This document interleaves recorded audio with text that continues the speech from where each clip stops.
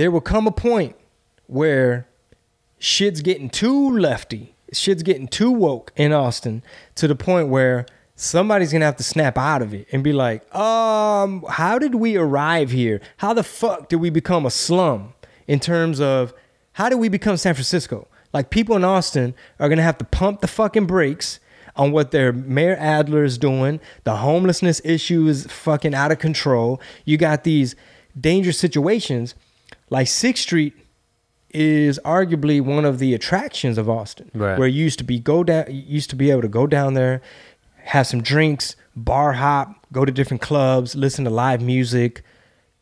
Austin's the shit. The the heritage of Austin is keep it weird, keep it free, keep it open, the live music capital, but it's turning into fucking homelessness galore. You might be at Sixth Street trying to have fun. Somebody's doing a shootout. Somebody getting knocked out. The cops can't get to you. EMS can't get to you. Is South by Southwest gonna still want to be there? Right.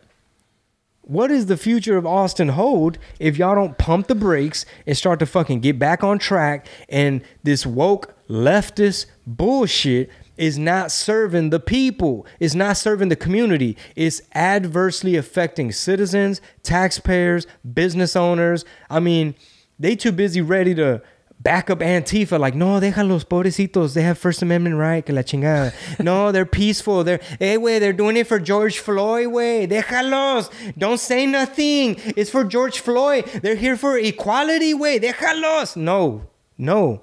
That's not was what's happening.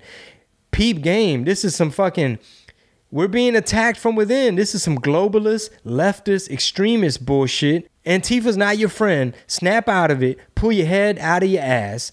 And these double standards in the media is not helping anybody. They're like, a black person did a mass shooting in Austin. Shh, don't say they were black. Don't say they were hunting white people. Yeah, I know they confess that. Don't put that in print. Yeah. It's, it's going to adversely affect the black community because it's a stereotype. Well, let a white person do it, and you're gonna run behind that narrative. Oh, look! I told, look at white people. Yeah. Look at these crazy white people. See, that's why we need to take guns out of y'all's hands. On some fucking Beto O'Rourke shit. You know, it's crazy because my done for the day.